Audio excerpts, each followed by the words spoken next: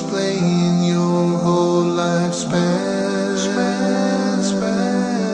What you did in the open and what you concealed. Did in the open and what you concealed. إن الحمد لله نحمده ونستعينه ونستغفره ونعوذ بالله من شرور أنفسنا ومن سيئات أعمالنا من يهده الله فلا مضل له ومن يضلل فلا هادي له وأشهد أن لا إله إلا الله وحده لا شريك له وأشهد أن سيدنا ونبينا محمدا عبد الله ورسوله Brothers and sisters in Islam Assalamu alaikum wa rahmatullahi wa barakatuh and welcome again to the inevitable journey. Brothers and sisters in Islam, the inevitable journey right now took us to the fact that كل شيء هالك إلا وجهه Every single thing will perish except Allah subhanahu wa ta'ala. We reached the time when Israfil alayhi salam blow in the trumpet and everyone is dead. Every single person is dead and all of them are underneath the ground. And I just want to remind you, brothers and sisters in Islam, that the conditions of the terror that the people will experience in the face of this earth once the first trumpet is here, it is because those people are the worst people as you recall from the previous episodes. But you will find out, brothers and sisters in Islam, with the second blow in the trumpet, when Allah subhanahu wa ta'ala decrees for the people to come out of earth, to be resurrected again, now is the time when the distinguish, the distinguishment will take place between those who believed in Allah subhanahu wa ta'ala and those who did not between those who did the work that Allah subhanahu wa ta'ala commanded them to do once it comes to their lives and those who neglected the commands of Allah subhanahu wa ta'ala. Brothers and sisters in Islam, after Allah subhanahu wa ta'ala revealed to the Prophet sallallahu alayhi wasallam the fact that between the two blows in the trumpet, the first blow and the second blow, there are 40. Now, Rasul sallallahu alayhi wasallam did not specify whether it is 40 days, 40 years, 40 months, or 40 hours. But Rasul sallallahu alayhi wasallam informed us through the revelation that comes to him from Allah subhanahu wa ta'ala what will happen and what will take place between the two blows in the trumpet. الرسول صلى الله عليه وسلم told us and the hadith في صحيح الإمام البخاري ومسلم من حديث أبي هريرة رضي الله عنه and حديث عبد الله بن عمر في صحيح مسلم رضي الله عنهما that all the uh, body of the, the, the children of Adam will be simply decayed. They will become sand and dirt except as a tail, a bone tail that will be in the spinal that is as big as a lentil soup, a lentil seed. Rasul sallallahu alayhi wasallam called it ajbu dhanab. And from it, Allah subhanahu wa ta'ala will refashion, will recreate every human being that was underneath the ground, underneath earth. And Rasul sallallahu alayhi wasallam actually explained to us the process. He said, Allah subhanahu wa ta'ala will send a rain that is similar to the sperm of a man. And it will rain in earth and that rain will contact the uh, tail bone that is in uh, was in the spinal of the human being and from it everyone will be recreated again. And they will actually grow underneath earth. And when Allah subhanahu wa ta'ala decrees for them to rise, to be resurrected, Allah subhanahu wa ta'ala will command Angel Israfil alayhi salam to, after he gives him the life again, to blow in the trumpet for the second time. ثم نفخ فيه أخرى فإذا هم قيام ينظرون after Allah subhanahu wa ta'ala commands the angel to blow for the second time in the trumpet, and that will make everyone rise from the ground. وَنُفِخَ فِي الصُّورِ فَإِذَا هُمْ مِنَ الْأَجْدَاثِ And there will be a blow in the trumpet, and they will come out of the graveyard, يَنْسِلُونَ فَإِذَا هُمْ مِنَ الْأَجْدَاثِ يَنْسِلُونَ قَالُوا يَا وَيْلَنَا They will say, Woe to us! Those are the disbelievers, brothers and sisters in Islam. Remember, this is why we are sharing the inevitable journey with you. We're not talking about the inevitable journey because we have nothing else better to talk about. No. If you get to learn about all these details, akhi, sister, brother, you will be prepared.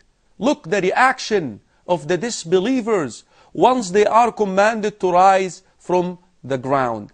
ونفخ في الصور فإذا هم من الأجداث إلى ربهم ينسلون What will they say? قالوا يا ويلنا Woe to us! Hell to us! Who got us up? من بعثنا من مرقدنا Who resurrected us?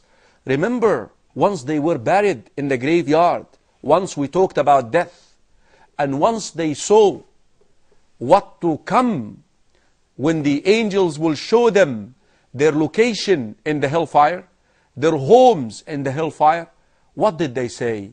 They said, Ya Rab, my Lord, لا تقم الساعة. Do not make the hour come. You know what? Allah subhanahu wa ta'ala did not answer their dua. And Allah subhanahu wa ta'ala made the hour come. And here they are to rise. من بعثنا من مرقدنا Who resurrected us from our graveyards? The angels will answer them, هذا ما وعد الرحمن This is what the most merciful, merciful has promised. وصدق المرسلون And indeed the messengers were truthful once they conveyed the message to you from your Lord. Brothers and sisters in Islam, see the difference? إن الذين سبقت لهم من الحسنى أولئك عنها مبعدون لا يسمعون حسيسها وهم فيما اشتهت أنفسهم خالدون Indeed those who received from us the goodness in this world that they were guided They were Muslims. They believed in La ilaha illallah, Muhammadur Rasulullah, and they implemented La ilaha illallah, and they were steadfast. In those, they will not fear. They will be, they will be taken away from the terror of, of the time. If you recall, once we were talking about death, we mentioned that the most difficult three moments in the life of a human being is the moments of transition. Once he is born, once he leaves the world, and once he resurrects, from once he comes out of earth. Look at this.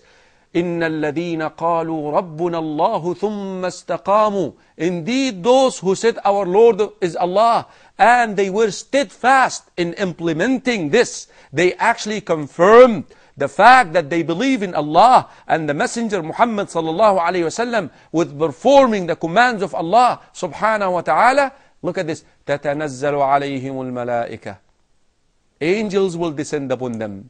When? Ibn Abbas الله عنهما ترجمان القرآن the one whom the Prophet صلى الله عليه وسلم made dua for him. Allahumma علمه التأويل. Oh Allah, teach him the interpretation of the Quran. Teach him the, interpret the understanding of the Quran. He said that they will descend at the time of death, giving him the glad tiding, and they will also descend upon him at the time when he is to rise from the ground, when he needs security, when he needs to be, to be assured security, brothers and sisters in Islam, because of their iman, because of their faith. So here they are. They will be comforted from the minute that they rise from the graveyard.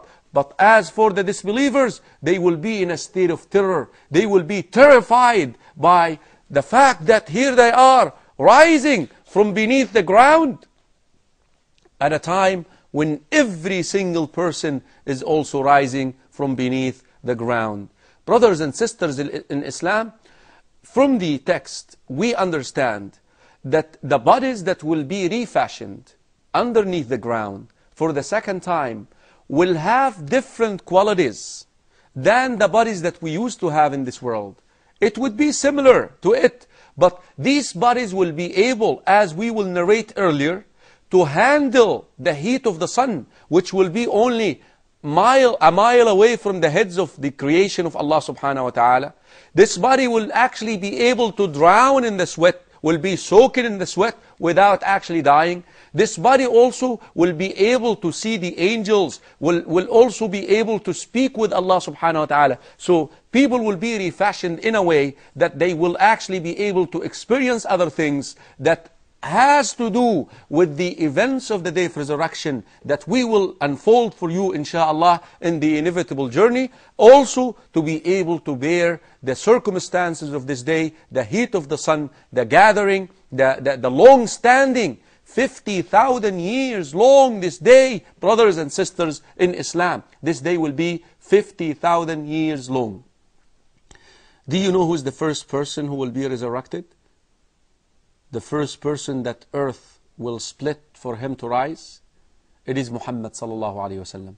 Rasul sallallahu alayhi wa sallam told us, hadith صحيح الإمام مسلم من حديث أبي هريرة رضي الله عنه he said أنا أول من تنشق عنه الأرض يوم القيامة وأنا أول شفيع وأول شفيع وأول مشفع I am the first of the creation of Allah subhanahu wa ta'ala that earth will split for him to rise from the ground and I am the first one to intercede before Allah subhanahu wa ta'ala and we will learn later on how and I will be the first one whose intercession will be accepted by Allah subhanahu wa ta'ala. Brothers and sisters in Islam, there is a, a hadith in Sahih Muslim, hadith Jabir ibn Abdullah radiyallahu anhuma. The Prophet sallallahu alayhi wa sallam said, يُبْعَثُ كُلُّ عَبْدٍ عَلَى مَا مَاتَ عَلَيْهِ Every person will be resurrected doing what they died doing. Wallahi, by Allah, this hadith is scary. Let's talk a little bit about it after a short break. Assalamu alaikum wa rahmatullahi wa barakatuh. The scale of justice will be brought before man. Now you shall have to explain your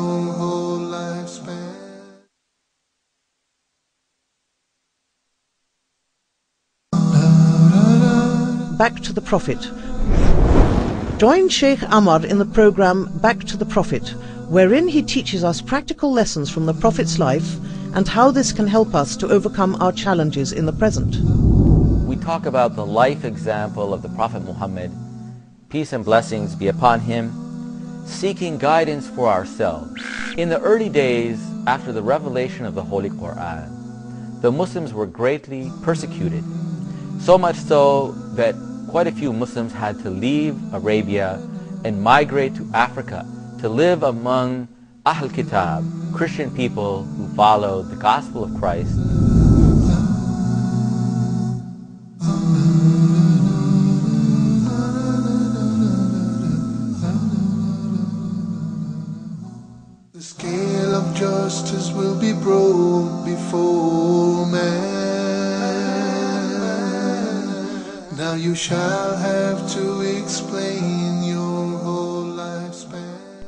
Assalamu alaikum wa rahmatullahi wa barakatuh.